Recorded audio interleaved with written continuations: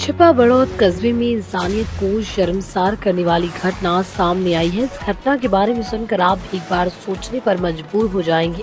आपको बता दें कि महज एक दिन की एक नवजात बच्ची को राजकीय सामुदायिक स्वास्थ्य केंद्र छिपा बड़ौद के कूड़ेदान में मरने के लिए फेंक दिया है। इससे पहले कि नवजात बच्ची के साथ कुछ अनहोनी घटित होती, नर्सिंग स्टाफ कर्मचारी को पता चला कि नवजात बच्ची कूड़ेदान में पड़ी हुई है। नर्सिंग कर्मी तुरंत डॉक्टर पुरुषोत्तम मीना को सूचना दिए।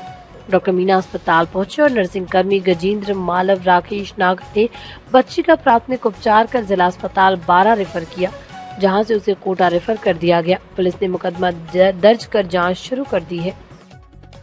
बिल्कुल सही बात है। सुबह साढ़े पाँच बजे ड्यूटी कंपाउंडर राकेश जी नागर का मेरे पास फ़ोन आया कि सर एक नवजात शिशु को कोई डस्टबिन में डाल गया। क्या करें? तो मैं तुरंत वहाँ गया। वहाँ जाके मैंने बच्चे को देखा। बच्चा जीवित था। बच्चे को कंपाउंडर साहब ने एन में रख दिया था। लेबर रूम में। बार बार में रख दिया था ताकि उसकी साँसें चल रही थी।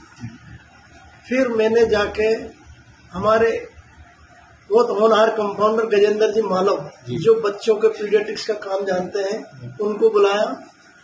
उनसे बच्चे के केनुला लगवाया केनुला लगवा के जो प्राथमिक उपचार दिया और ऑक्सीजन पे बच्चे को कंपाउंडर साहब के साथ बारह शिफ्ट करा दिया। और थानेदार जी को बुला लिया था। जी।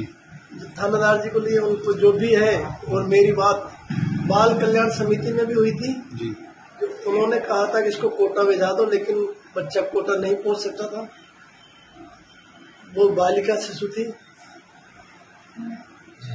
और उसके किसने ये कार्य किया तो इसका थोड़ा इसका हम कैसे बताएँगे? पुलिस इन्वेस्टिगेशन कर रही है। हाँ, जो भी पुलिस इन्वेस्टिगेशन करे आप पुलिस से पूछिए किसका है किसका नहीं है। हाँ।